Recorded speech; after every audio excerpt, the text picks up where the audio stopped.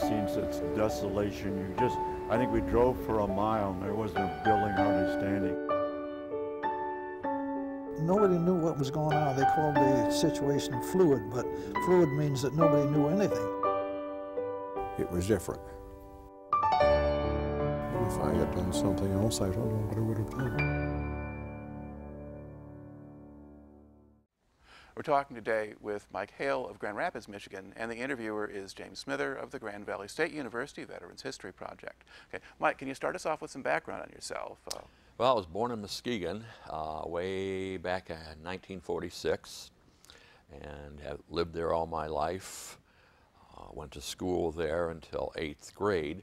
Then I went to a uh, junior military academy uh, Barbour Hall Junior Military Academy in uh, Nazareth, just outside of Kalamazoo. From there, for high school, I went to Marmion Military Academy in Aurora, Illinois, about 40 miles west of Chicago. Okay. Now, can you back up a little bit? Uh, what was your family doing for a living when you were a kid? My dad was a, uh, a dentist, and my mother was a stay-at-home mom, like most people were back then. Okay. And uh, I enjoyed my life. Uh, great parents, uh, so how did you wind up in military academies? Um, I was tested, my IQ was tested, and they figured that maybe I wouldn't uh, do well in public school. Nothing against public mm -hmm. schools. Uh, and they asked me if I wanted to go, and it seemed like it would be interesting and a challenge. Mm -hmm. So I said, sure, why not? So off to boarding school I went, which didn't bother me in the least uh, some acclimation mm -hmm. to getting used to a boarding school environment, you know, not seeing your parents for a period of time, but I enjoyed it. And uh, consequently, I tested for uh, Marmion, which mm -hmm. is a college prep right. academy, and went there for four years. And that, I think those five years in military school really helped me to learn the ropes of the military mm -hmm. and to become a survivor, or at least build a foundation to be a survivor. Okay. Now, and in these military schools, and especially at, at Marmion, uh, what kinds of, of, of, military practice or whatever or, or, training do you get in okay. that context? This is 24 hours military. I mean, you slept in dorms, uh, you got up at a certain time every day, you had uh, uh, morning inspection and formations uh, before class, and then of course you're still in a military regimen and through classes. Um, most of the classes were college prep, mm -hmm. the usual for that, plus the military or the junior or the ROTC uh, classes, map reading, drill and ceremonies, um, map reading, mm -hmm just anything that would be of the junior or the ROTC uh, format. Mm -hmm. And uh, like I say, I learned a lot from that too. So I knew how to read a map and all the other allied uh, stuff. Okay. Uh, and so then when did you graduate from there? That would have been June of 64. Okay, and what did you do once you graduated? I uh, went back home to Muskegon and went to Muskegon Community College for a year. Uh, had way too much fun and then in July of 65, that's when LBJ, uh, what I call rattled the sabers mm -hmm. and had his speech that they're going to uh, involve us in Vietnam. And uh, I thought about my grades and the fact I wasn't married or had, you know, nothing. So basically I was uh, a prime candidate for the draft. Mm -hmm. So I figured, okay, let's uh, be proactive here. If you get drafted, this is what I'm thinking. Mm -hmm. If you mm-hmm. get drafted, you go to Vietnam. However, if I enlist with all my previous knowledge, I should be just fine. So I enlisted uh, the end of August of 65. And now, did the, the calculation of being just fine include the prospect of, of going to Vietnam? No. Okay, you thought you could just be valuable enough they'd put you someplace else? Right, because I was going into communications. Okay.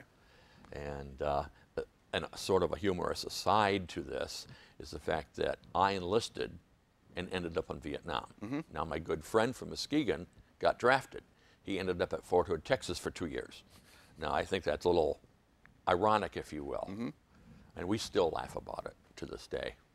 Well, you know they need good people in Vietnam.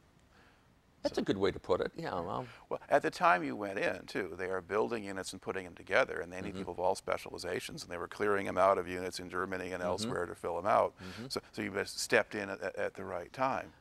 I think uh, really everybody did. All right. Now, aside from the LBJ speech, and I guess American ground troops, the Marines went in in March of 65, and the Army was going in as about as early as May. But by July, okay, this is getting big, and, and you start to get the really big draft groups in after that. Okay. How, what else did you know about Vietnam or what was going on over there? Not a whole heck of a lot, uh, like most people at that time. Um, I just knew that there was uh, combat going on, and uh, troops were getting killed, wounded, and uh, in my way of thinking, survival over there um, was probably not good. Uh, when I was in basic training at Fort Leonard Wood in Missouri, uh, and I may be jumping ahead here, uh, a major brought me into his office, having known my background, and he insisted I was going to officer candidate school. And I said no. And a discussion ensued, but I won. I said, I'm not, no, I don't want to be an officer because you go in as a second lieutenant and a first lieutenant, and you're usually plat- platoon leaders. Basically, you just have a target on your back. And I was hoping to uh, improve my statistics by not being an officer. Well, at that point, you only had a year of college. I mean, you were Right. would not have been quite as old as most of the guys doing the OCS and the rest of it, too. yeah, when I went over, I was um, 19 or 20. All right. Now, when you go and you enlist, at some point they have you do the, the Army physical. Uh, where did they do that? That was at Fort Wayne in Detroit. Okay. And can you describe a little bit the scene there when you go through that? Well, from what I can remember, because they rush you through this, is you have the standard physical, and they give you some little tests, and they have you uh, open your mouth and say ah, check your eyes, and all that, and make sure that you're physically fit for the military. And uh, I think it was like two days, but I mean, it just all I remember is going in with paperwork. I remember standing in line to get some shots and physicals and standing in a room with a bunch of other guys and proudly standing at attention and raising my right hand and said, I faithfully will or represent my country. Right. In so Uh, many words. Now, later on, at least, you get a lot of stories about you know guys going to the physical and trying to find ways to beat the system or scam it or that kind of thing. Were you observing anything like that at that time? I guess I really wasn't. I was just sort of concentrating on me, wondering, what have Right. I gotten myself into? All right. Because my life didn't belong to me anymore. It belonged to the government. Okay. So they send you down to, to Leonard Wood in Missouri for, for basic training. And can you describe what happened there? Uh, I went there, let's see, uh, shortly after I enlisted in August of 65 and got assigned to a training company and went through everything basic, the basics uh, of somewhat I had in military academy. But uh, there was also uh, live fire, uh, marksmanship, uh, live grenade throwing, uh, bayonet training, uh, obstacle course, which was uh, interesting. Uh, barbed wire and live fire, allegedly, and crawling through mud. Um, I was somewhat fortunate. I don't know why some of these things fell into my lap, but we were in old Wor- World War II barracks, which were heated by coal furnaces and I got to be what's known as a fireman, which means instead of going out and training, you would stay in the company area, go around and make sure the furnaces are running and put coal in there and just basically smell like coal for that entire day. So I didn't have to go on uh, the training s- situation. But since I'd already been through this stuff in military academy, I really wasn't missing anything. The emphasis was really put on killing. Killing. And I, I, I realize that's part of survival. But uh, that's not really something that uh, someone in their late teens really uh, would think they'd ever be in a situation of doing. So that was uh, somewhat eye opening. Right. Now, of course, you're talking about stoking coal furnaces. You, you get there in August, so, Mm-hmm. so you, you need furnaces at night. Um, it get, gets cool in Missouri at night. Yeah. And, you're, that's, that's kind of in the hill country too, isn't it? Yeah, yeah, it's out there near the uh, Appalachians, Or Ozarks. or- Ozarks. Yeah. There we go. I was yeah. close. They're both mountains. Yeah, that's right. And middle school geography, right? Mhm. Okay. Yes. Yeah. Oh, okay. Yeah, that's right. And then that that's sort of is that about an eight-week course or? I it was eight to twelve weeks. All I know is I finished up in November. Okay. Uh, that may have been total more, more like 12 because they varied how actually that, that that early they may well have been longer. They varied the length of training at different times in the war. So I asked that question just to find out, and I never should guess and give a number. Okay. You I can't remember. It's been But, but that so goes. long But that's. November, and then you get an AIT after that, right? Yep. I went to Fort Devens, Massachusetts for uh, radio training, cryptology, and learned a lot there. The military occupational specialty, or MOS, was uh, Morse code interceptor, which basically means you have headphones on, you have a typewriter, you're listening to beeps, monotony for eight hours, and typing what you hear.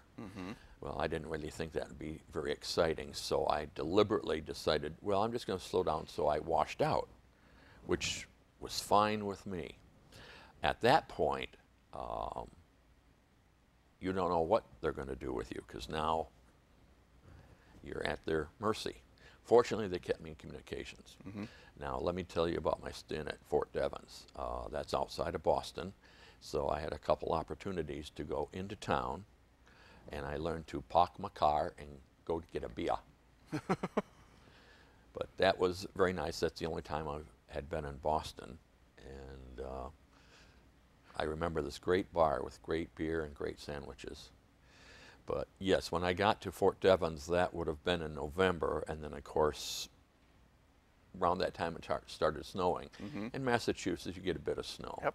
But while I was there, I met this uh, one guy, Dean Owen, uh, also from, uh, well, no, he's from Maryland.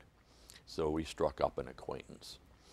So when I washed out, uh, they sent me to Fort Leonard Wood, Missouri again, uh, and assigned me to a radio unit, uh, a fixed station, in other words, brick and mortar type thing, not out in the field. And I was there, and I was really enjoying that until um, one day I got orders for Vietnam, which I started uh, wondering, "Ooh, hmm, what's going to become of this? Okay. Could you just talk a little bit about the, the, the, the stint there at Leonard Wood? How long were you there before you got the orders to Vietnam? Let's see.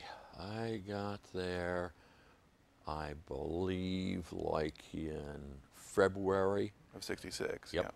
And got orders uh, to go to Fort Riley, Kansas for the 9th Division uh, in June. Okay. So it was a very short uh, assignment.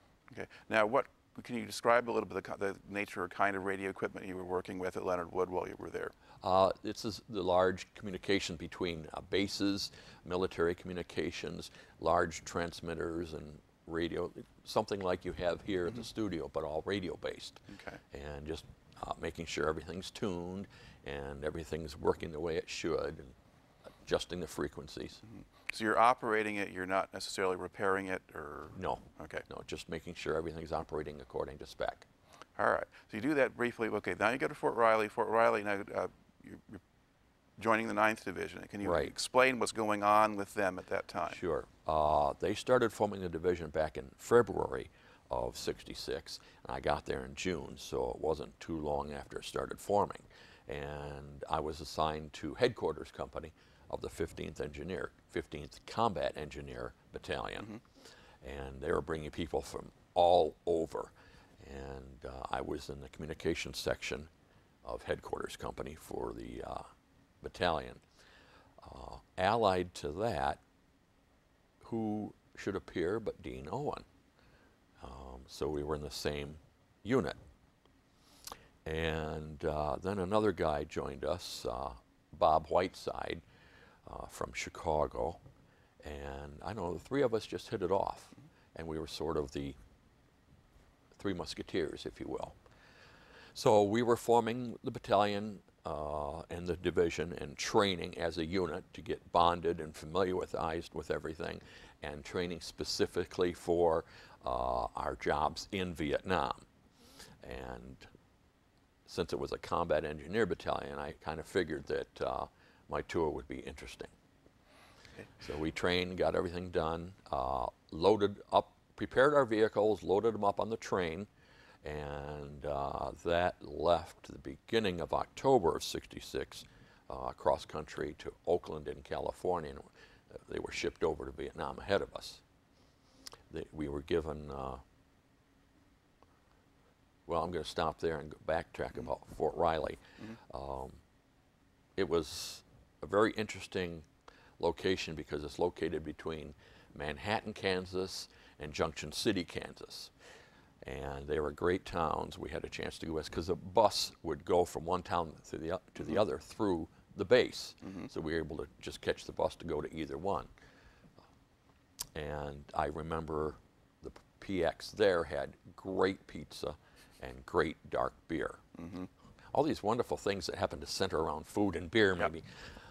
And uh, we really bonded there.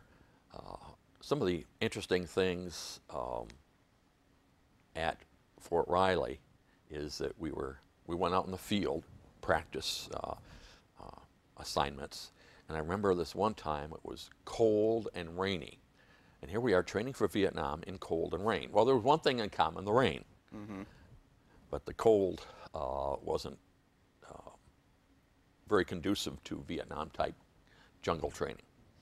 And let me back step a minute because I meant to talk about when I was at Fort Devens, Massachusetts. Now I'm there in winter, and they were also training some of the guys for Vietnam. So um, here they are in Fort Devens, Massachusetts, training people specifically for service in Vietnam. And they had hooches and the aggressor force wearing the pointy hats. In the middle of winter, you're wearing winter outfits, the Mickey Mouse boots as they're called, and in winter you're training for Vietnam. I just thought that was somewhat ironic too. So, Yeah. Okay. Now, with the the Ninth Division, with the unit that you're now in, uh, within within the Engineer Battalion, did you have a lot of sort of more senior enlisted men, guys who'd been in the Army for longer periods? Yes. Oh, yes. Uh, they brought them from all over to fill the appropriate slots. Um, as far as those with combat experience in Vietnam, it was a rarity. It was. There might have been a few who'd been in Korea, maybe. Yeah, I would say so. Yeah, but uh, because what, 15, 20 years maybe had gone by, that the majority of them have really uh, had no combat experience Right, at all. So right. we were all basically green troops. Okay. Uh, now, the your your equipment get goes will get shipped over by boat. How did you get to Vietnam? Well, our unit, the engineer battalion, uh, went over by boat, and we were the advance party for the division. So we got there in October to build up the base camp that they were going to be assigned to, and uh, so we just went in with all the equipment and. Okay, Uh, s- so, were you on the ships that were carrying the equipment, or no, they- no, okay. that because they were way ahead of us All right. about a week and a half, two weeks. So they were there when we got there. But the boat trip over, um, it's far from a cruise. Uh, down to brass tacks, yes, it's a cruise, but it's an entirely different atmosphere. And uh, that's where a lot of the training for our mindset took place. Um, they really brought us down to the basics that it's you versus them. And it got to the point where, in my mind, I can't talk about anybody else, but where I got to believe that the Vietnamese were subhuman. That's all part of what they did that I learned. And uh, I just, I really had no respect for them. And that's truly sad in retrospect. Now, that would apply to all of them, whether they were Yep. supposed to be on our side or not? Yep. Okay. And, and who's giving this to you? Uh, the NCOs, a few of the officers. But uh, we did have a bunch of free time, uh, but we also did PT and other things. And um, cleaned our weapons. What was the weather like on the way over? It wasn't bad. It wasn't bad. Uh, since I was going to Vietnam, I got a camera, and I got some great uh, sunsets and sunrises on the Pacific. So that was uh, interesting. One notable thing about the trip over um, that you're fed on the ship, and it's 18 days from California to Vietnam. So there really wasn't a whole lot of fresh milk, so you uh, were served powdered milk. That's an experience in itself. That was uh, interesting. So we're on the boat going over. We were with uh, a company of Marines as well. So they were in other part of the, the uh, ship because uh, all servicemen are of the same, but there's, I won't say necessarily a rivalry, but you know that inter uh, agency service um, camaraderie. You know, they just mm-hmm. call people different names, all in good humor. So they were at one end of the ship, and we were at the front of the ship, the bow mm-hmm. and the stern. Even an army guy knows some nautical terms. And we took liberty in Okinawa. Now, this I'm not necessarily proud of, but I remember buddying up and getting off the ship. And we made the rounds, and I woke up back on the ship. Now, how I got there, I have no clue. I don't remember. So that tells me I guess I had a good time. Probably. Yeah. And I wasn't really a, a drinker. I mean, I had beer, but not a whole lot. So this was my uh, first experience in uh, heavy alcoholic sedation, if you will. Mm-hmm. I tried to look at it humorously. Well, I've interviewed an officer or two who had to be in charge of guys who stopped off in o- O- Okinawa, and your account kind of fits in with his. so, Not right. necessarily proud of it. So that was a day liberty, and then from there we went to Da Nang by mm-hmm. ship and offloaded the, the Marines to do what they have to do. And then we went down south to Vung Tau, which is an in-country R&R center. But here we are on the ship. They're bringing these uh, barges to the ship, and we get off. Now we had our weapons. Oh, good. That's that's all well and good. And we went by barge, not too far to land. We were then trucked out to this airstrip, waiting for planes to bring us in further to where we were going to be. So here we are for several hours, sitting alongside an airstrip, all newbies, if you will, in country, looking around, wondering, you know, what's going to happen with no ammunition. We were slightly nervous. I mean, we didn't know where we were and what the situation was there conflict-wise, but that was really weird. We got on the Caribous, were uh, flown into Bearcat, and that's outside the to- town of Long Thanh. There was a special forces camp outside with a little airstrip, and then our excuse me our base, which was, was a very small base at the time, and it was uh, a, a contingent of the 4th Infantry Division was there. And it was uh, Camp Martin Cox for the um, one of the early uh, casualties of the war. And we built up that base camp maybe 10 times the size it was. But uh, so we were still had no ammunition, and we were there in the base. And were the 4th Division guys providing security at this point? Yes. Okay. Yep. Yep. So we were attached to the 4th Division at that time for, I don't know, a couple weeks or so, I guess. And then we were attached to the 18th Engineering Brigade because you have to be attached to a parent unit. And so we were attached to them. So I basically got uh, the right to wear the 4th Division combat patch, the 18th Engineering Brigade uh, combat patch. So we were there uh, from mid-October to mid-December, and that's when the rest of the division came in. And I was on a convoy out as they're coming in, and uh, not that I'm a veteran in country, but uh, I knew two months more, more information and, than they did. So it was kind of funny as they're coming by in these deuce and a halves, and I'm just sitting there and just sort of smiling, thinking, you have no clue what you're in for. Okay. And how much, uh, what had you learned over the course of those two months? uh, to protect my butt. Um, maybe three weeks into that, uh, of course, we were we got there, and it was just the start of the monsoon season, so the ground was not at all stable. It was basically mud and puddles and water, and we set our cots up inside of this with a tent that was just put up, and we had our foot lockers that were sitting on the mud, and it was not, you know, you get up in the morning, you have your nice floor, you put your feet on, carpeted or heated and all that, where you basically sat in your cot, put your boots on, then you stood up. But that was interesting. Anyway, back to the three weeks after, uh, so I was there. Uh, you're filling sandbags all the time. If you have nothing else to do, you fill sandbags. Well, I, I basically call them mud bags because that's what it was like. And it was after dinner. It was probably about eight o'clock at night, and we're out there filling sandbags, and we hear this distant boom. And as we all look up, we see in the distance this great fireball rising into the sky, and just you know the mushroom type thing. Mm-hmm. Oh my God, what happened? What's going on? Got very nervous, and I thought to myself, I still have more than a, well, almost a year left here, and this is what greets me after a couple weeks.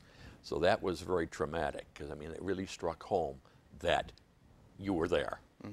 By that time, they'd finally issued us some ammunition. Not a whole lot, but just. Now, were you still carrying M14s at this time? Or did Yes, we went over with M14s. Now, uh, in military academy, we had M1s. So I knew an M1 inside and out. And of course, by this time, I knew my M14 inside and out. By the way, the M1 is an excellent weapon, just too big and not enough ammunition. So we had the M14s, which we were constantly cleaning, and uh, we were communicating with uh, the different companies of the battalion uh, as they are building things up. And uh, I think they did some preliminary engineering type patrols, but the, the main assignment was building the base camp, the roads, the streets, the uh, unit areas, and just expanding it. That was the primary thing to do while we were there in advance of the division. Uh, Were you building an area for your own battalion? Oh, yes. Okay. Oh, Because yes. you, talk about being sort of heading out as the other guys are coming in, but they weren't transferring you necessarily No, somewhere. no, we, we built up our area, and that's where we stayed, and we had gotten all the other areas ready for the rest of the division. Now, when you're building a, your company area or, or whatever, or battalion area, are you doing things now to physically improve it to get yourself out of the mud, or are you still? Right. Yes, you're, you're building it so there's proper drainage, and uh, it is in a organized fashion. You would expect that, nothing less from the military. And you had your orderly room, which is the administration center. You have the officers' quarters, they're nice little tents. And then you have all of us minions in our group tents. And uh, we would build wooden platforms to put the tents Right, on. right. And then you had to fill the mud bags around them and dig uh, a mortar trench with uh, cover. Had to do that for all the base. Um, A mortar trench with cover. Does that take protection against mortar attacks? Right, right. Although I don't necessarily think they would have been all that great. Fortunately, when we were there, we didn't get too much of that initially. But the larger the base got and the more personnel we got, it became more of a target. So that would happen once in a while. Of course, we'd have drills. Um, well, that's basically what we had to do to prepare for the division arriving. After they arrived and normal military operations ensued, uh, the units would go out into the field with uh, the appropriate uh, infantry units for support. One of the major things that we were tasked with is clearing the jungle uh, away from the roads. Mm-hmm. And that was done two ways. One, by the infamous Agent Orange, which affected all of us, even though they said, oh, this is not going to hurt you. You know, it's, it's just for bugs and to mm-hmm. defoliate. No, th- nothing to worry about. But that's another story. But we had these bulldozers with these big old blades that were sharp. And every night after they'd come back in or wherever they are, they'd actually grind the, those things down to, to a razor edge. Mm-hmm. So all they'd do is take the bulldozers and just go in slowly. And it was so sharp it would actually cut down the trees. And some of the bigger ones, they used chainsaws. But Okay. Now, are these bulldozers, are these uh, the ones they call Rome plows? Yes, Rome plows. Yep, exactly. And they would clear it back anywhere from 50 or more yards away from the roads, so they didn't have anything to conceal themselves in. Okay. Now, what was the, the terrain generally like? Was it fairly flat in the area you were operating in? It was mostly flat with uh, some hills and some mountains, depending on where you go in the country. Right. And I have to say this about Vietnam it's a beautiful country. I mean, rich, lush greens, blue skies when it wasn't raining, um, red and brown earth. It's just a contrast of colors uh, six months out of the year. Of course, when it's dry, you have to contend with the humidity, uh, not so much in the dry season, but the heat and the dust. So you really never got clean in the dry season. Now, opposed to that, you have the rainy season or the monsoon season. I was fortunate to uh, enjoy that for twice, but nothing got dry. I mean, your uniforms, even though they were washed by the Vietnamese laundry, uh, they really not, they did not get dry, and they would stick to you, and it's a very uncomfortable feeling. And since we're talking about the weather, I remember this one time uh, in the morning when we got up and formed for our company forma- formation. Uh, it was so cold, we had to put our field jackets on. It had gotten down to the freezing temperature of 70 because you're acclimated to like 110 degrees. Uh, so, I mean, that was. Never thought I'd ever shiver in Vietnam, but there were that there was that occasion. So, how long does it take to get to get physically acclimated there? Because there's the there's the climate and the Um, food or whatever else you've got. Uh, I would say by the time the division came in in December, I was we were pretty well there. Yeah, and uh, right now, compared to where I was in Vietnam, I'm physically now twice the man I was. Well, maybe that's exaggerating slightly, but uh, I really got skinny. all right. Now, you were on, on a regular base. You'd have kind of a standard army food, and not you're not just living off of C rations or whatever. Yeah, right. Not until we were out in the field. Right. And they'd rotate us so that we would be in base camp, out in the field, just like anything, but at uh, a more, not on a regular schedule like the infantry was, just as needed. Right. Okay. Now you're in communications, so you spent a lot of time in, in the larger base, but they're also sending you out in the field now. Right, to support the uh, engineering units, Okay. mostly the uh, bridge building and the jungle clearing uh, and road building. Those were the big tasks, plus, you know, the construction on the base camp, which was always ongoing. By the time I left Vietnam 18 months later, it was a, I would say, a pretty fair-sized city, if you will.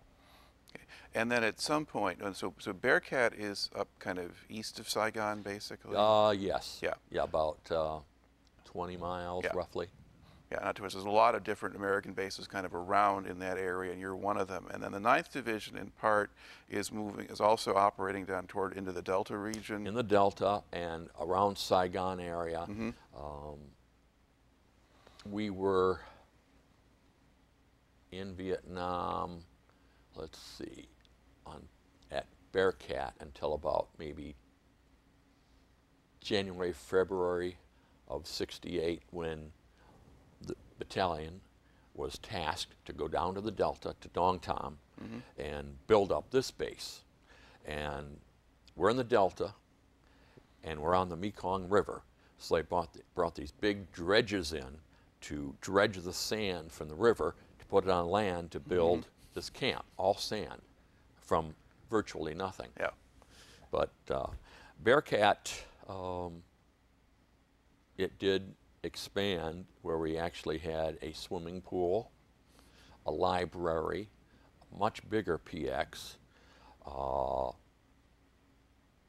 an average size hospital, a little bit larger than a MASH unit, uh, huge helicopter strips, and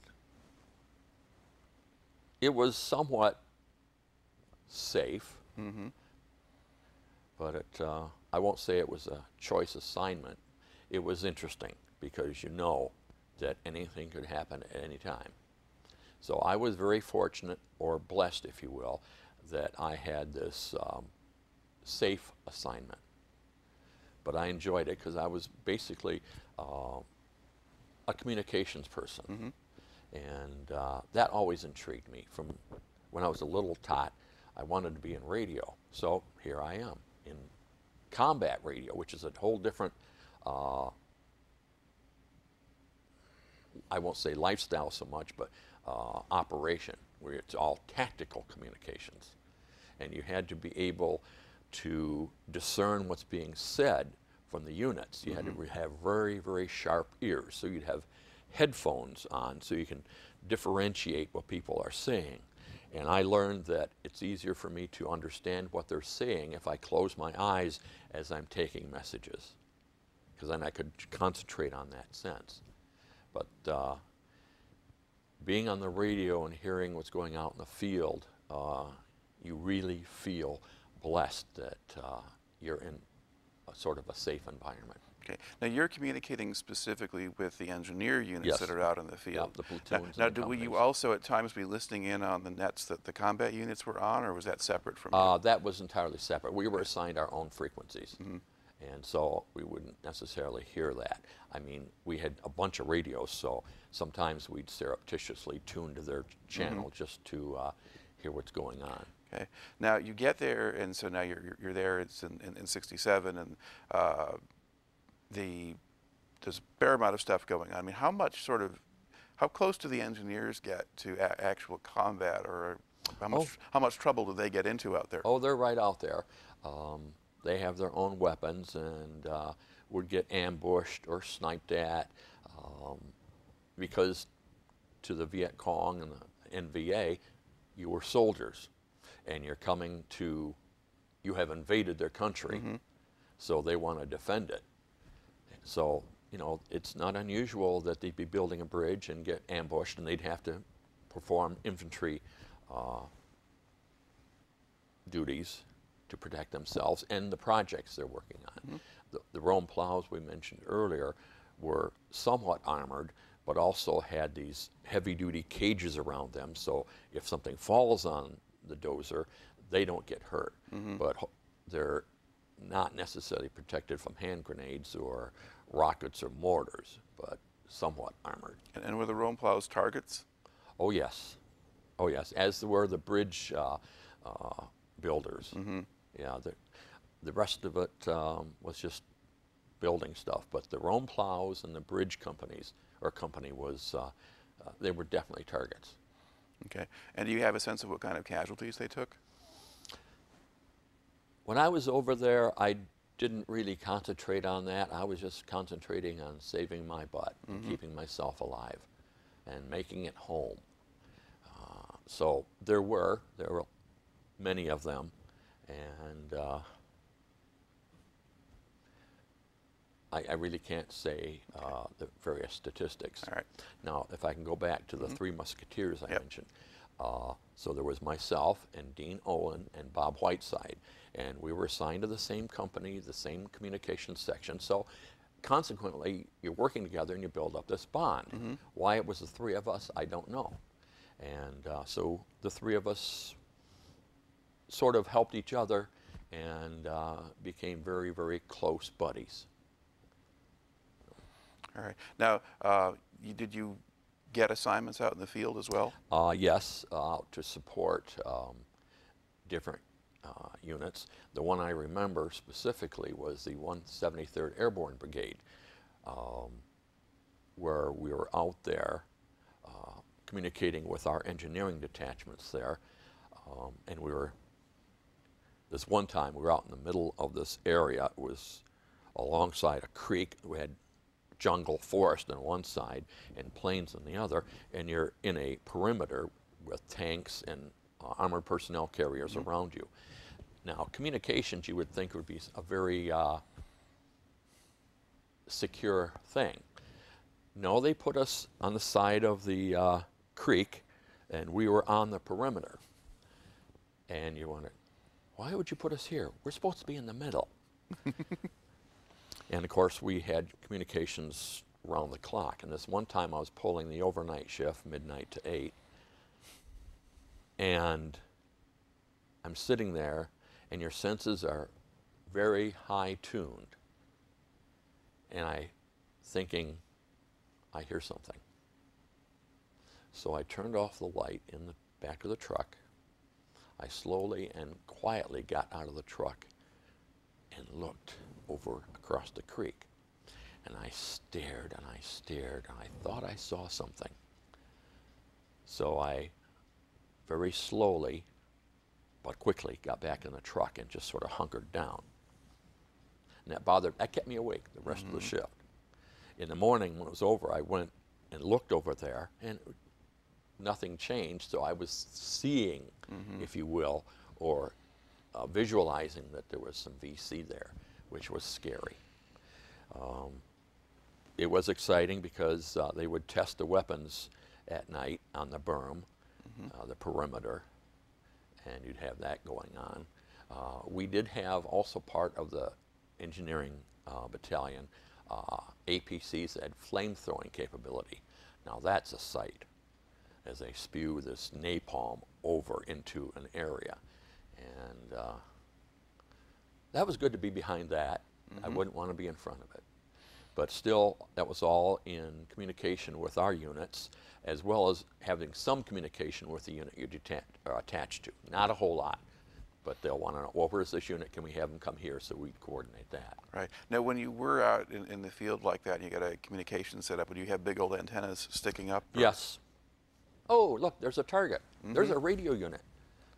Yeah, we'd have to put these portable antennas up. They were probably like uh, maybe 15 to 20 feet mm-hmm. above where we were. But it was, well, I know that the, the, the smaller radios, the ones they took out in the field that the RTOs took out, those, uh, they either would shorten the antennas or curl Bend them them up. They try over. to, yeah, bend Yeah. them over to make them as inconspicuous as possible. Yeah, because they were the primary target of snipers and ambush. And those were the, I still remember this, ANPRC 25s. And uh, little backpack with the antenna. So that was interesting. I didn't have to hump any of those because we had the larger radio equipment. Now, when you moved around, did you normally go by truck? Yes.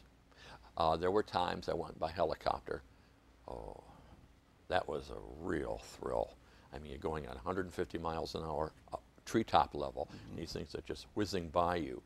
Um, and of course, you think, okay, well, we're low to the ground, and um, of course, they're low to the ground because you really can't target those Yep. well. But uh, you always have that in the back of your mind. Okay.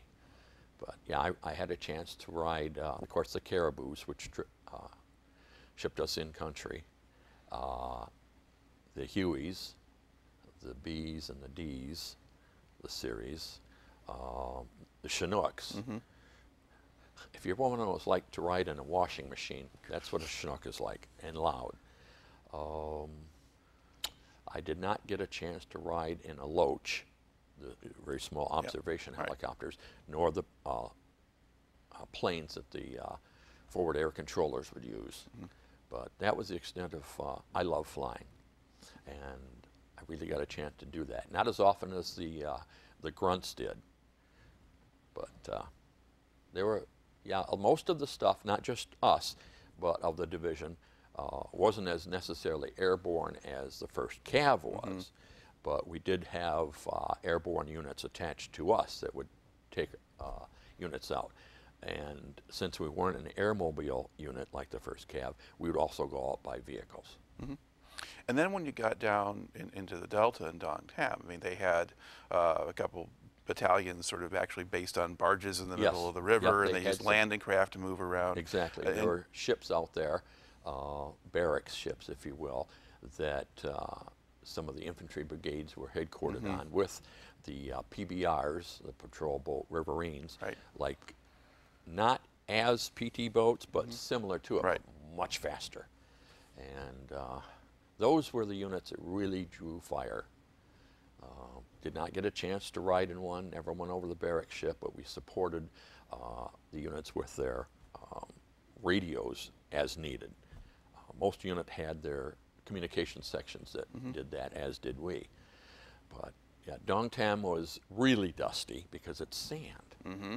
Opposite at Bearcat, where it's basically uh, in the rainy season all mud. In the rainy season at Dongtam, there was some mud, but since it was sand, it would all filter down. Mm-hmm. So it was somewhat of a stable environment. And there, they actually built two-story wooden barracks. I, and I still can't wrap my head around the fact that we had two-story wooden barracks like dorms mm-hmm. down there. It just So how much incoming fire did these bases take? Well, when we moved down to Dongtam, it was not unusual to have it, you know, every few nights or every night. And that's where I really increased my athletic ability to run.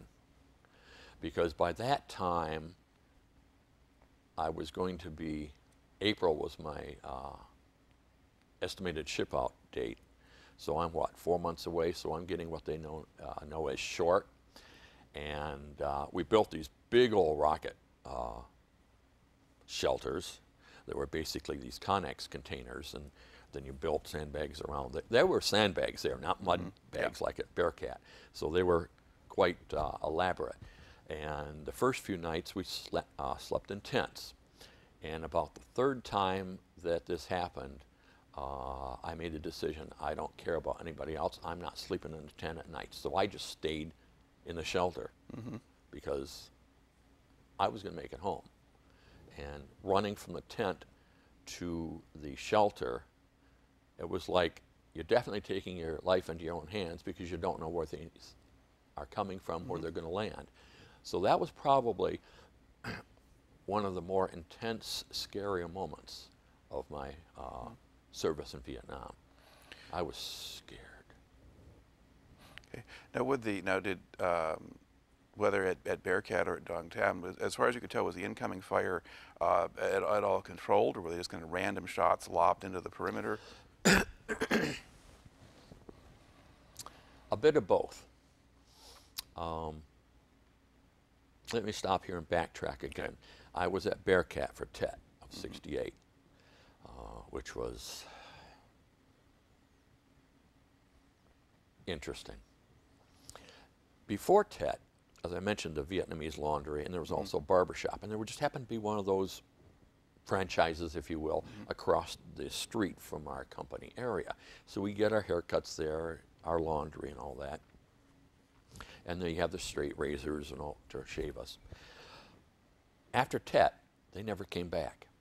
We never saw them again, which made me think that, okay, while they're in the base, because there's several of them all around, they're actually plotting where things were. And uh, how easy would it have been for them before TET to take us out since they're using straight razors? Okay, now my imagination's running wild, but you just you think about all these things. But they never came back, and we sort of suspected that was the case. Yeah, and well, there were a lot of them, you know, were VC, and in some cases they got killed attacking bases and so forth, so that you couldn't come back. But Well, friendly by day, enemy at night. Because when we got rocketed, we send out patrols, the division would, outside the uh, berm. And they'd always find ARVN units, the Army of the Republic of Vietnam, friendlies. yeah, And, you know, there was no enemy around, but the ARVN troops are there.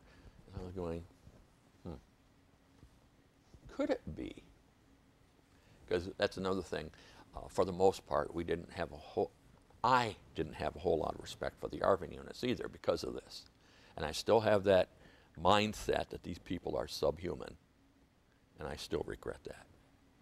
Now, how much did you see of, of the civilian population? I mean, you've got some of it in the area we were operating, and some of them work on your base. Well, yes. Um, and there was a town outside the base which was off limits. Um, there wasn't much to speak of anyway. Uh, I did get an in-country R&R back at Vung Tau, so we're actually in a safe area. Um, so that was enjoyable. Get a chance to see uh, probably the lifestyle of them a bit, more. Plus, we'd, the, we'd travel on, in convoys to go mm-hmm. to the different areas, and you travel. You can always smell when you're coming to a village because they use a sauce on the fish, nuoc mam, if I'm mm-hmm. pronouncing it right, and that is very pungent, and you could tell. And you come to the, you drive through the marketplace, which is usually alongside the road, and here's all this stuff, fish and poultry and vegetables, all on sale. But that was so pungent, you could always spot a larger village with that. All right. Okay. Uh, we were talking about you had gone back home and you were kind of dealing with people at, at the time. hmm I didn't feel a disconnect with uh, my friends from growing up, but I didn't see much of them. Uh, and I don't know why, and I don't know if it was of my choosing or the opportunity didn't present itself. I don't know, because I was just concentrating on enjoying life out of a very uh, serious situation.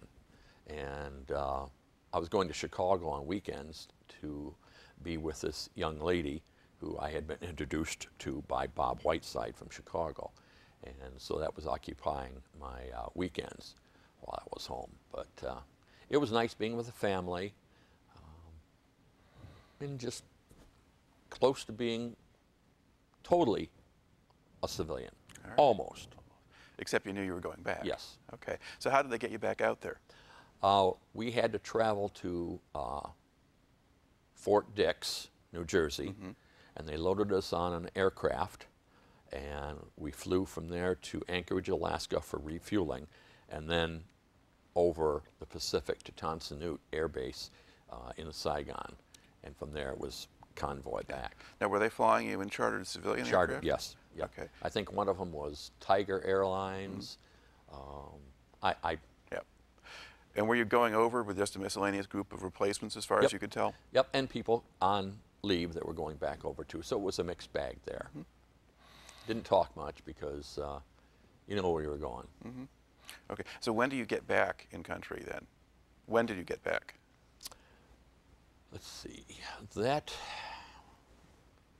I'm gonna think now. So probably December of '67, Yeah. uh, or a little bit before that. No, wait a minute.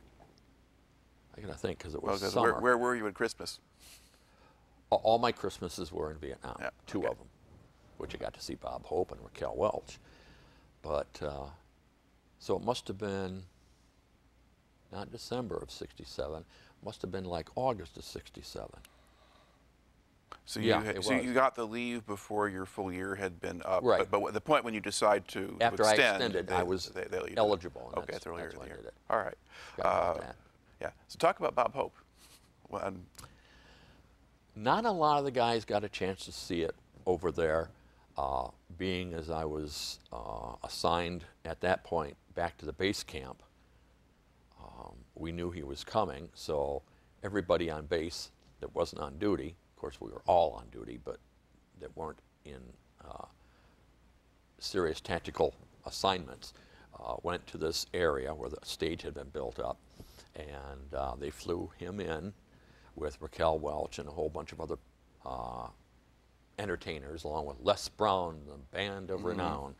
Um, and that was, I think, about an hour, maybe two-hour show.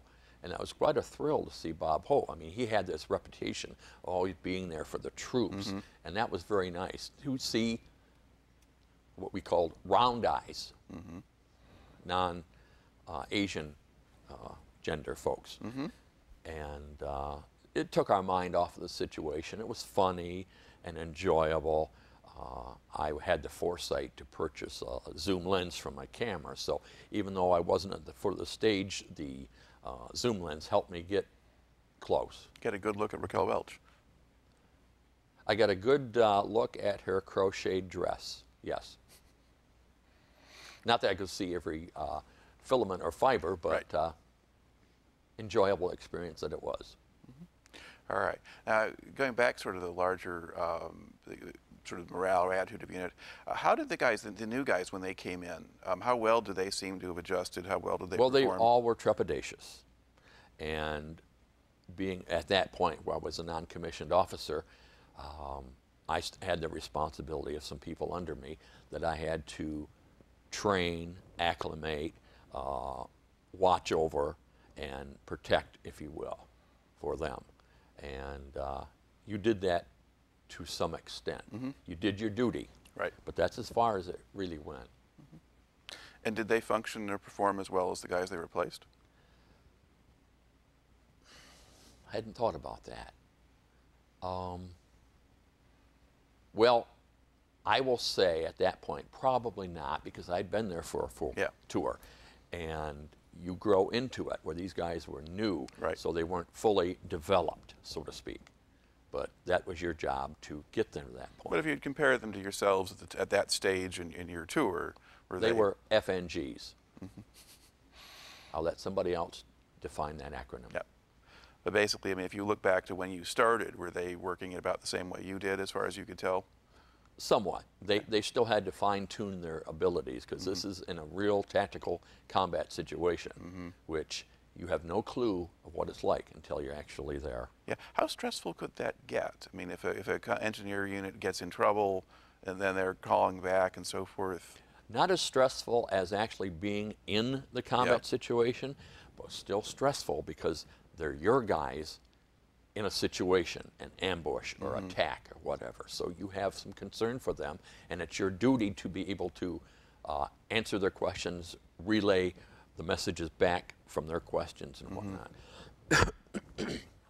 Pardon me. Okay. Would you be in a situation where you'd have to call in support for them, or you just Uh, no, that was usually the artillery. right? Uh, the only support was logistical and um, any requests for them going to be returned to their infantry Right. level training. Okay.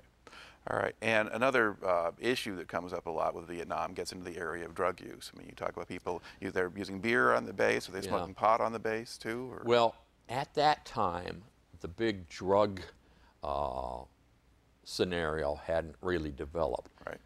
When I was there, mostly was the beer. I didn't see any drugs. Uh, it may have been going on, but I wasn't aware of any.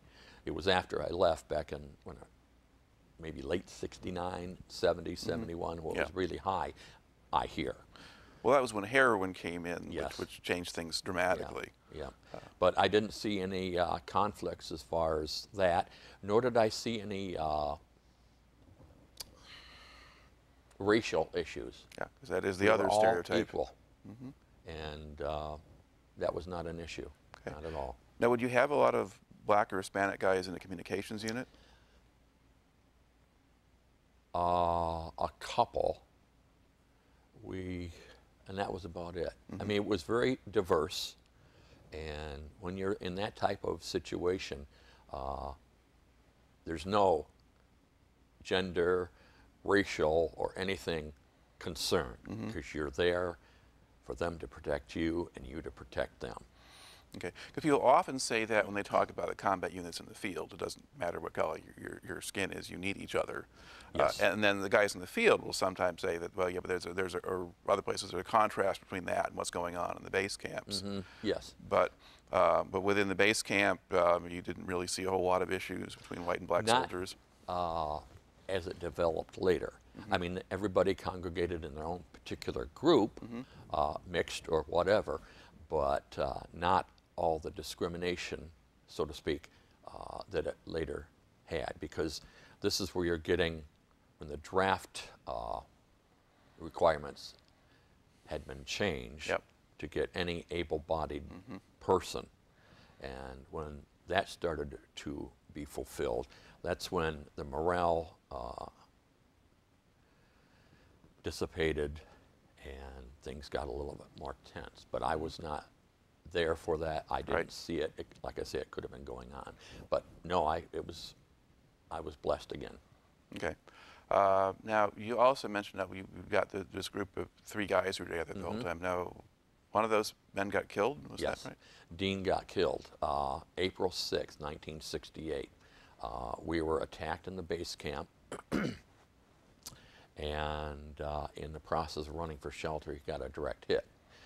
Now,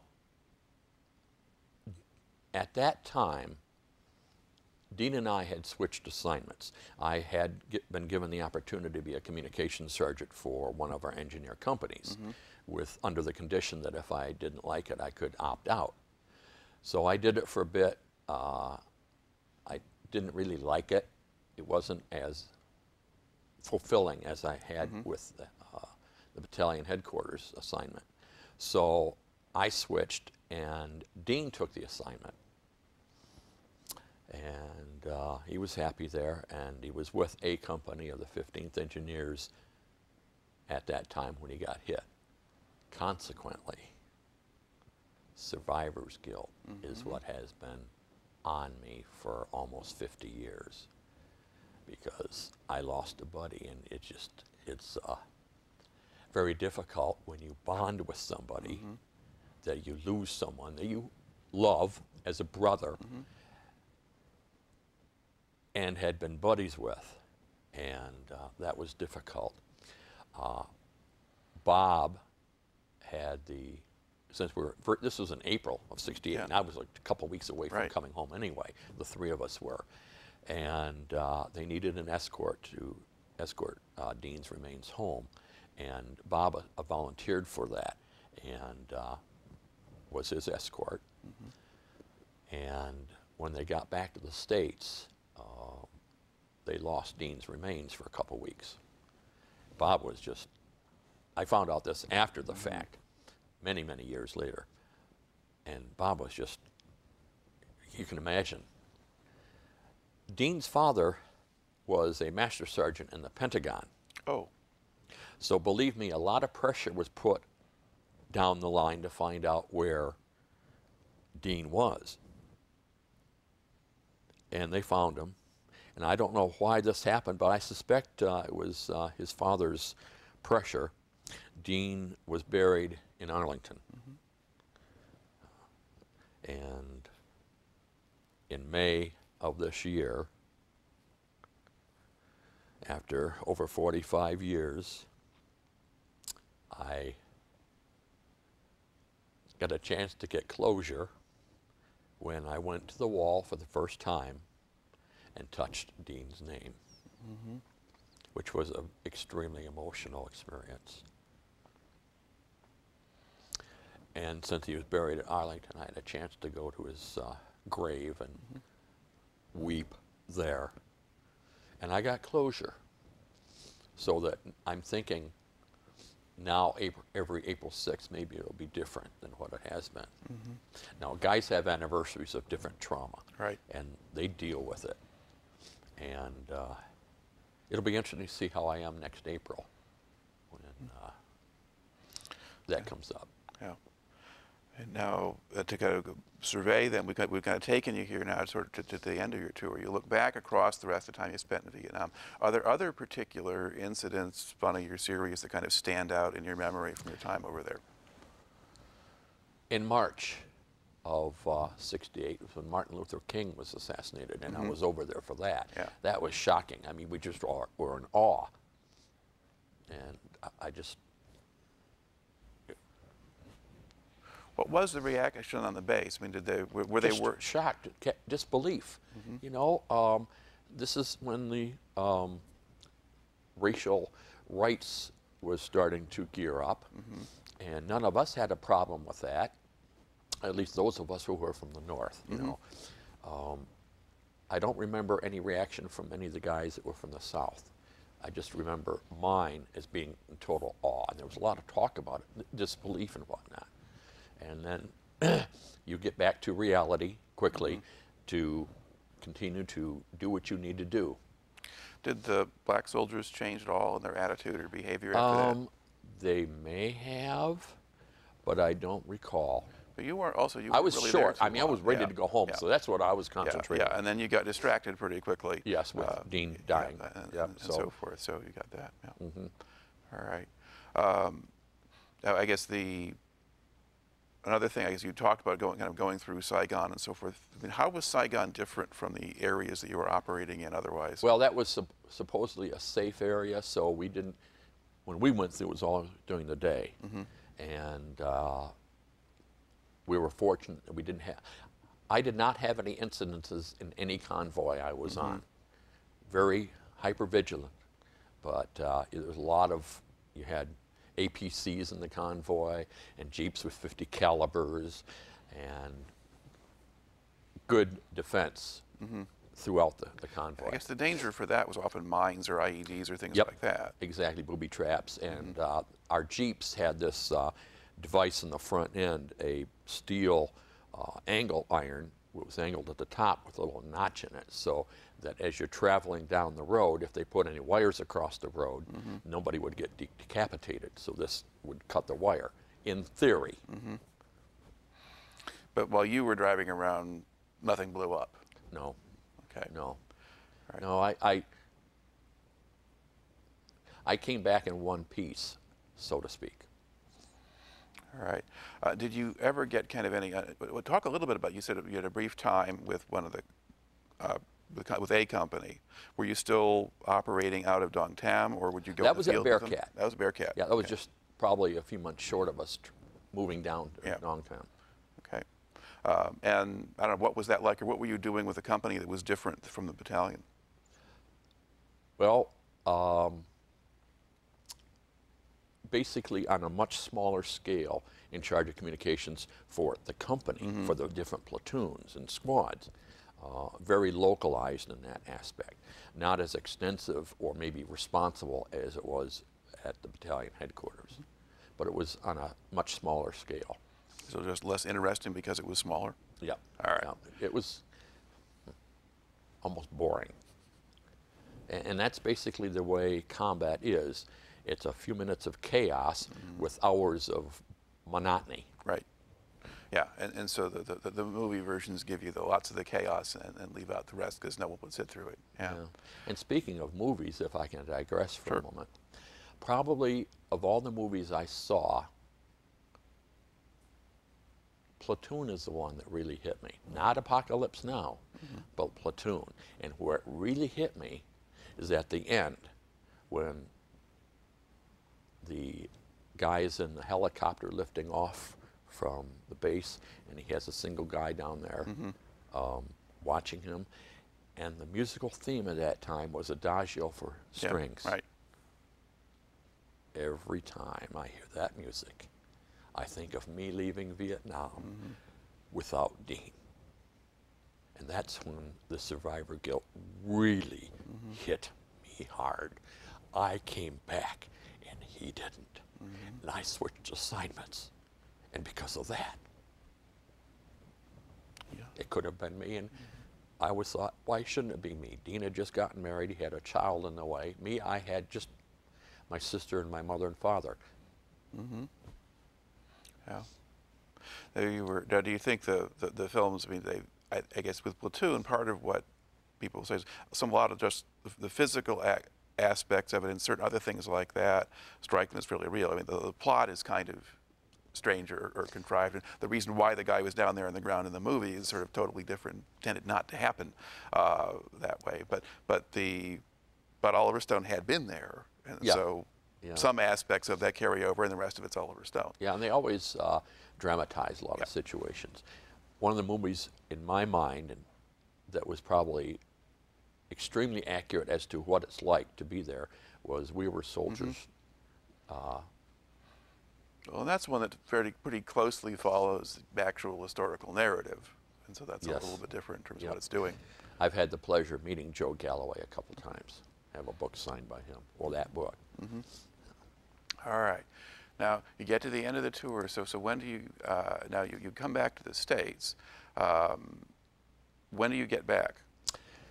That would have been the middle of April of uh, 68. And uh, that's when a lot of the anti war sentiment was Right. high.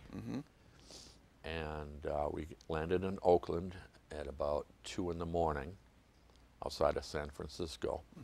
And we're turned in our jungle uniforms and got khakis and the dress greens.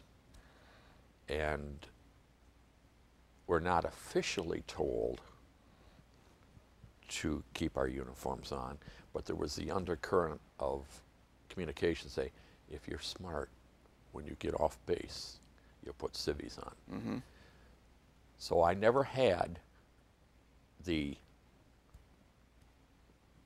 scenario of being called a baby killer, denigrated as a soldier, um, spit upon, yelled at. I was very fortunate.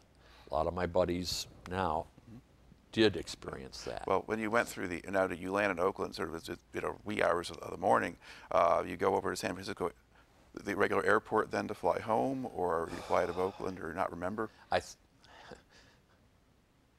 I think I did because I remember it was a commercial airliner from California. Yeah. to Chicago Right. and then to Muskegon. But once again, that's a blur. And do you recall uh, seeing any protesters in the airports? Um, vaguely, Mm-hmm. But I was just ecstatic that I was home and done with my tour. And speaking of that, getting on the plane at uh, Tan Son Nhut, um, everybody got on the plane very quiet, and they closed the door, still quiet. But the minute we lifted off from the ground, there was this uproar of raucousness and cheering and laughter, and y- y- it was one big party. And uh, that went on for several minutes, and then everybody sort of settled down and started talking about stuff, and eventually it, it got to the point where you just fall asleep Right. this is an 18-hour flight. Yeah. All right. Now you get home, and then you get to leave home for a little bit. Yeah, I got uh, another 30 day leave, and uh, I never talked about that I'd been in Vietnam. I didn't let anybody know I was a veteran.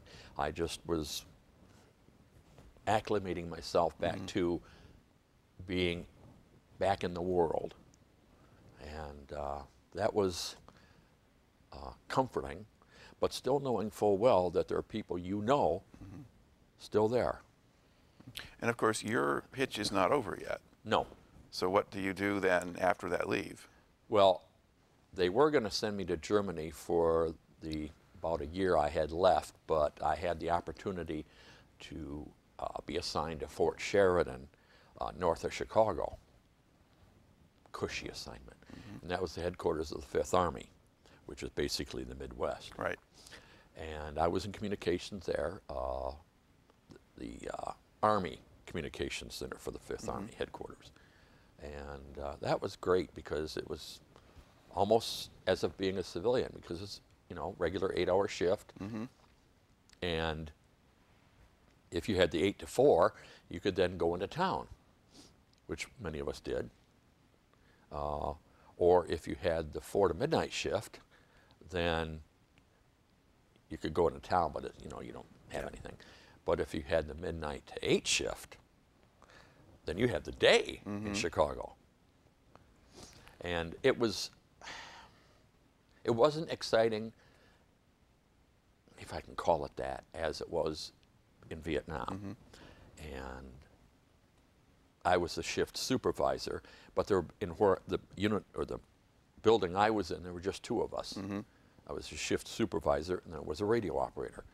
And usually the midnight to eight shift, there's nobody coming around, so we would just relax and, and rest our eyelids very carefully and with great intensity on listening Now, were you there at the time of the Democratic Convention in Chicago? Uh, now you're in the military, and crazy stuff is going on in, in, in the city. How much of that gets back to Fort Sheridan? Fort Sheridan was on alert. Uh, the National Guard is what actually went in there, but we were on alert, and uh, we weren't activated for that, but we were on alert for possibly doing it when things started erupting. So that was educational, mm-hmm.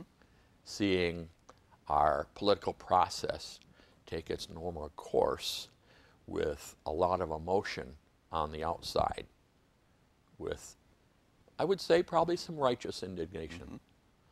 Mm-hmm. Excuse me. So So how did you view all of that? How did you view the anti-war movement at that time? Or I was shocked. I thought, you know, I'm pulling my duty for my country, I'm serving my country, I was doing my job, and I can understand, of course, it's different now because now they support the troops and don't support the war. Yeah. There, they didn't support the war, and we were physical, tangible uh, evidence Yeah. of that. So we were bearing the brunt of all this uh, disrespect and hatred and all that. And when I got out of the service, I never told anybody I was a veteran. I probably didn't do anything uh, to raise my visibility until after 911. But yeah, I that was interesting. Of course, it was I was much more relaxed because I knew I was going to be getting out of the service. And I would have gotten out in August of 69, but once again, when you're in the military, you learn a lot of things. And I mm-hmm. discovered I could get out early to go back to college. So I mm-hmm. did. I got out in May instead of August. But that was a cushy assignment in Chicago. Um, you couldn't ask for a better assignment because you're at an Army headquarters. Mm-hmm. And life there was, yeah, food's better. yep, yeah, everything was better. All right. And were there a lot of people that you saw or dealt with who'd been to Vietnam by then? Uh, a few. Uh, once again, at that point, uh, I was a combat veteran. Right. And uh, the people there, most of them weren't. The majority of them weren't. So there was some awe, I guess you could say, of me having been there. Right. Did people ask you about it? Other soldiers, yeah, yeah. You know, what's it like? What can I expect? You know, what did you experience? Things like that. Because a lot of them kind of figured that uh, there would they would have their turn. Of course, when I left, the buildup was just coming. Yeah. Well, they've been building up, but the biggest, Yes. the large, but but the forces got to their largest size, kind of late '68 into the beginning of '69. Yeah. All right. Now, so the ones who did, okay, so you leave then Excuse in me. May of.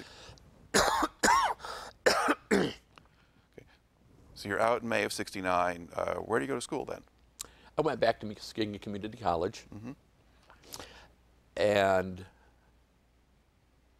I was older than most students because by that time I was 22, 23. And uh, you stood out because your deportment is different, the haircut is obvious, and uh, one of my teachers the professors found out I was a Vietnam veteran. So she asked me if I would do a class on Vietnam.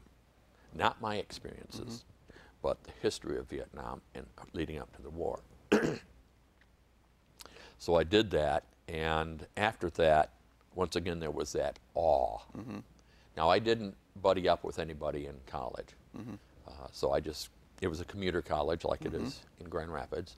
And when I was done with class, I went to work or home. But there was some awe, like it was at Fort Sheridan, of me having been there. Okay. Now, what do you do after that? Well, like I say, I was in communications, and from a wee one, I always wanted to be in radio. So, I mean, real radio. So mm-hmm. I got a part-time job in radio broadcasting uh, in Muskegon, and that would have been in 69, 70, and started doing part-time work in radio, disc jockey, and enjoyed it. It was fun. Uh, being a geek, I enjoyed all the equipment as well, and enjoyed it so much. I thought, okay, well, I want to get into this more and get more uh, job security in radio. So I went to get my first class radio telephone license for to be a broadcast engineer, uh, which gets you more money and more responsibility. So I, I did that. And um, at that point, after I got home, being young and stupid, I thought, okay, let's see, what have I done in my life? I said, I've been in combat, I've done this, I've done that. The only other thing I have to do is get married. So I pursued that actively. uh, unfortunately. And uh, we'll just leave it at that. Okay. Uh, but then did you have a kind of career in radio ultimately? Yes, I uh, was in radio for about eight years. And by that time, because I did a year at Muskegon Community College, and then I ended up moving to Grand Rapids to take a job in radio here. Uh, at one point, and it was in 73, that since I was news director at a local station here in Grand Rapids, uh, one of the school districts, the Wyoming Public Schools, was in the process of building up their communications with the public. So I got offered the opportunity to be public relations for Wyoming Public Schools. I thought, ah, this is a much better opportunity than getting up at 3 o'clock in the morning for minimal amount of uh, remuneration, where I could have, you know, a daily job, weekends off, and uh, be a person, so to speak. And I did that successfully for nearly 20 years and enjoyed it immensely. All right. All right then. So um, I guess looking back over the whole thing, what in the end do you think you took out of your time in the service? Well, two things. On the positive side, I served my country, I did my duty, and uh, survived. And for many, many years, I just kept counting my blessings. I made it back in one piece. I'm fine. I have no physical injuries or wounds. And it was about in uh, 97, 98, I started uh, encountering other veterans. Y- And you can spot veterans very easily. And by that time, there was a lot of pride in having served in the military. So that's when the apparel, the coats, and the Yeah. hats, excuse me, uh, were appearing. So that's one obvious evidence that you were a veteran. So I encountered all these different veterans who were in Vietnam, and you know we, we chatted as you usually do. You welcome mm-hmm. them home, and they started asking me questions. So how was your service and all that, which led mm-hmm. up to the fact, have you been checked out for PTSD? I said, no, I'm fine. I came mm-hmm. back. I don't have any problems. And this happened for a dozen times at different times. Uh, and finally, I thought, maybe there's something to this. So I went to the vet center here in town for combat veterans, a readjustment center, and uh, went through some counseling sessions to see if I had it. And lo and behold, much to my amazement, I had the symptoms of PTSD. And I didn't know that. Mm-hmm. And the more I got into it, the more I realized that all the things that I had done in my life, negative things, mm-hmm. was due to this. You just don't realize it. And there were many traumatic experiences that you just, okay, that you did that. But fortunately, um, I got into the system and recognized the symptoms and the consequences of these. And so I am now in a group session and one on one counseling, and uh, it's made me much better of a person. The downside of that was that all the stuff I did, by the time I got married in 2001 to my third wife, um, I realized the mistakes I had made. This is before the diagnosis. Right. And I knew what I was not going to do, the mistakes I had made. And so I got married, and back in the late, uh, well, like in 2009, 2008, when I started getting through this process, uh, with PTSD, usually it gets worse before it gets better. So unfortunately, uh, my lovely bride uh, had to experience some of this turmoil, which created some tenseness, but um, it, it happens. It does. You, you, you have to go back to all the stuff you buried, right? And, and, and sort yeah, through that. Not as intense as some guys, Mm-hmm. but yeah, we do. We don't talk necessarily about the trauma Mm-hmm. in the group setting. It's more of educational and discussion with different aspects that each guy's having. We're, we're basically para- professionals in this Mm-hmm. Right. uh, group, which has a f- professional facilitator. And we talk about all things current events, our experiences. There's a lot of uh, BS going on, but we do get down to the nitty gritty and talk about stuff and, and learn about the different symptoms and how to manage this whole thing. Now, I want to stop here and say that PTSD is the diagnosis I got, post traumatic stress disorder. The trend now is to realize it's not a disorder, it's just an event. So they're going now to more to PTS, and it's not a disorder.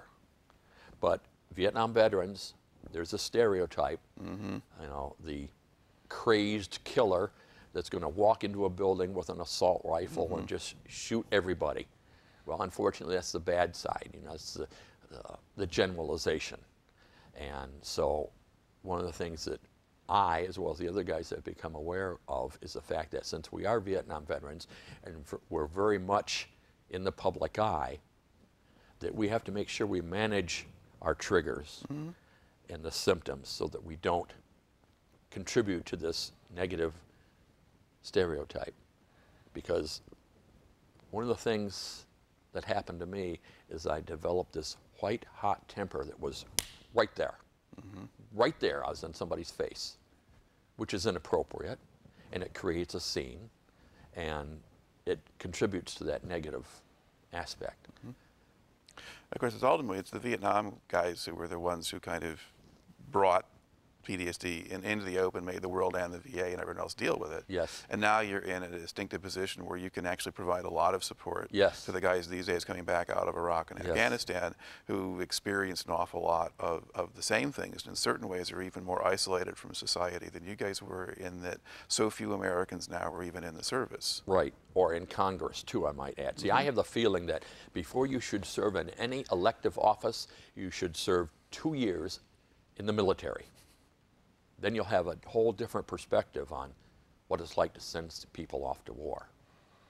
And yes, the Vietnam veterans, I'm proud to say, were probably uh, the forceful aspect of bringing treatment for PTS and Agent Orange to the forefront.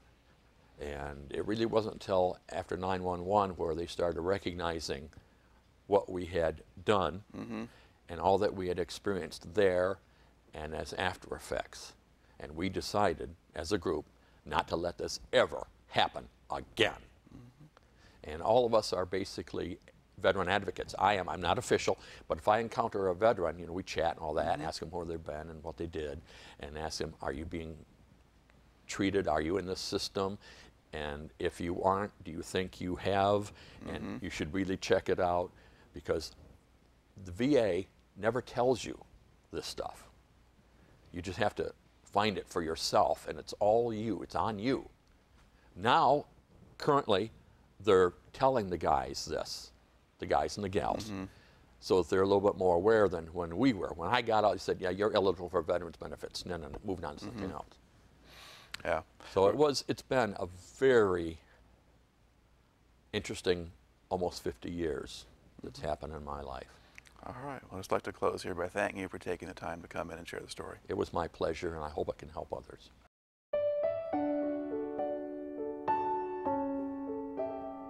I never seen such desolation. You just, I think we drove for a mile and there wasn't a building hardly standing. Nobody knew what was going on. They called the situation fluid, but fluid means that nobody knew anything. It was different. If I had done something else, I don't know what I would have done.